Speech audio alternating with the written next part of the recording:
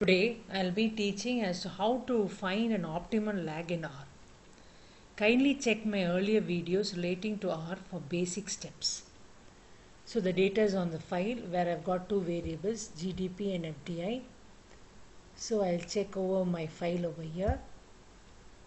So view has appeared. The next command is you have to attach it then only you can find the optimum lag so my file name is vecm so when it prompts try to click over to avoid mistakes. Later click enter. So when this work is done the next is to find the optimal lag you have to install a package called vars. For that go to tools go to install packages. Type vars so I have already installed it. So I am not going to install it once again. So I am going to cancel it again. After that type the command library and type vars package and then click enter. Now everything is set. So we have to do the optimum lag for a single variable first so the command will be var select. So I'm just taking the uh, optimal lag for the variable GDP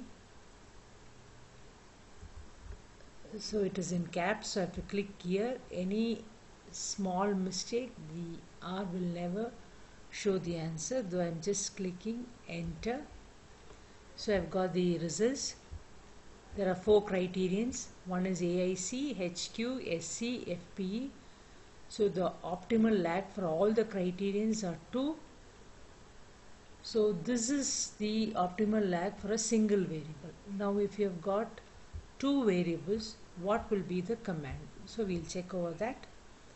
For that you have to type var select. Later type data dot frame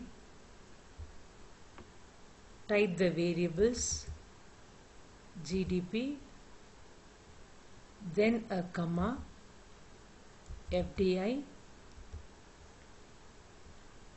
so like this you can just put a comma and type n number of variables. Later click enter. So the results have propped up. So you can see as usual there are four criterions. One is AIC, HQ, SC, FPE so the optimal lag based on AIC criterion is 9 that of HQ is 3 and that of SC is 2 it is left to the researcher to, to decide as to which criterion is opt for. Whatever criterion he or she opts for it has to be mentioned in the research work but however the best criterion is AIC but the greatest drawback is the optimal lag is more here which means that uh, lots of uh, degrees of freedom is lost. So it is the best method is to select the criterion which uh, which shows a less lag optimal lag. So I'll be selecting 2 for my further analysis hope you're clear with this. Thank you for listening